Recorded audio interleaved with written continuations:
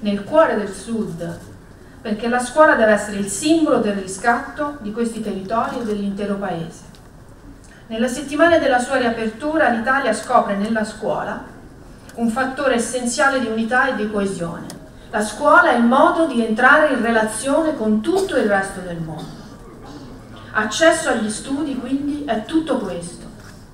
È la capacità di leggere il presente, di costruire il futuro. Ai ragazzi che vedo qui oggi in sala, che simbolicamente rappresentano tutti gli studenti di questa regione e del nostro paese, il futuro nostro è nelle loro mani, saranno loro a gestire il nostro futuro.